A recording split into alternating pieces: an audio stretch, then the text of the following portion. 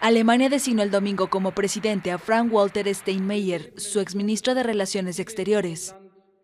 El político es definido por la prensa como anti-Trump, debido a sus críticas al nuevo presidente de Estados Unidos, a quien ha llamado predicador del odio.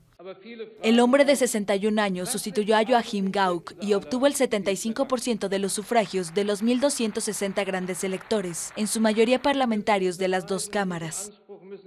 El cargo del presidente de Alemania es honorífico porque el poder está en manos del canciller y el parlamento, pero suele ser una figura respetada.